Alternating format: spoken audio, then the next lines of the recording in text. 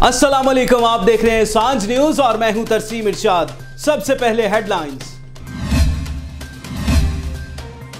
Pakistan army نے cruise missile Babur کا کامیاب تجربہ کیا۔ اس میزائل کی رینج چار سو پچاس کلومیٹر ہے۔ میزائل کو زیر آب زبردست پلیٹ فارم سے فائر کیا گیا۔ چیئرمین جے سی ایس سی اور سروسز چیفز نے سائنسدانوں، انجینئرز اور این ایس ایف سی کے لوگوں کو اس کامیاب تجربے پر مبارکباد پیش کی۔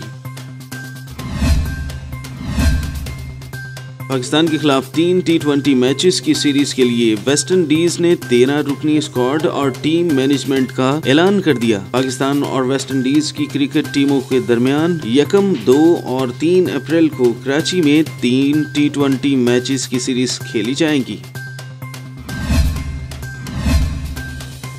ہیمن فیلڈ ریفرنس میں واجد ضیاء پر تیسرے روز بھی جرات جاری رہے گی۔ اسلام آباد کی احتساب عدالت کے جج Muhammad Bashir Avenfield reference کی سماعت کریں گے۔ آج کی کاروائی کے دوران بھی نواز شریف کے وکیل خواجہ حارث جے آئی ٹی کے سربراہ واجد ضیاء پر جرات جاری رکھیں گے۔ واجد ضیاء نے کہا کہ لندن فلیٹ سے متعلق ایسی دستاویزات پیش نہیں کی گئیں جن سے ثابت ہو کہ نواز شریف بینیفیشل اونر ہیں۔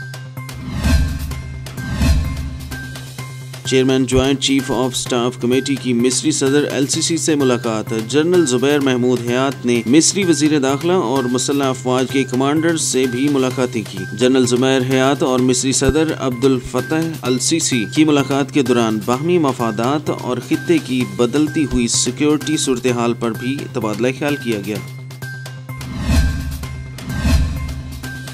سکھر میں آگا سراج دورانی کے بانجے کے اغوا میں ملوث ڈاکو مقابلے میں ہلاک۔ ترجمان ایس ایس پی کے مطابق قومی شاہراہ پر تھانہ سانگی کی حدود میں ناکہ بندی کے دوران پولیس پر چار ملزمان نے فائرنگ کی۔ تاہم پولیس کی جوابی کاروائی سے ایک ڈاکو ہلاک اور تین افرار ہو گئے۔ مارے جانے والے ڈاکو کی شناخت ممتاز عرف شکور عرف منڈو شیخ کے نام سے ہوئی ہے۔ ترجمان کے مطابق ڈاکو منڈو شیخ دو سال قبل دو ہزار سولہ میں اسپیکر سندھ اسمبلی آگا سراج دورانی کے بانجے نوید عرف نومی کے اغوا میں ملوث تھا، جسے ساٹھ لاکھ روپے تائیوان کی ادائیگی کے بعد رہا کیا گیا۔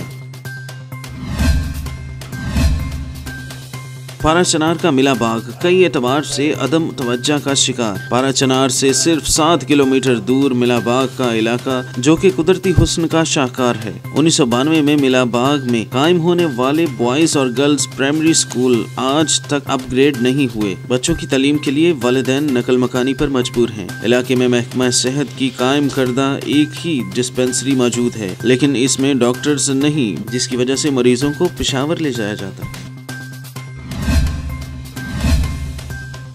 ہے ایسٹر ڈے کے موقع پر کسی بھی قسم کی ناگہان صورتحال سے نمٹنے کے لیے سیکورٹی پلان تیار۔ ذرائع کے مطابق خفیہ ادارے متحرک، چھٹیاں منسوخ۔ مسیحی برادری کی خوشیوں میں پوری قوم شامل ہے۔ ایڈوانس مبارکباد کے پیغامات جاری۔ یہ تھی اب تک کی ہیڈ لائنز مزید خبروں اور تفصیلات کے لیے وزٹ کیجیے ہمارا چینل www.sanjnews.com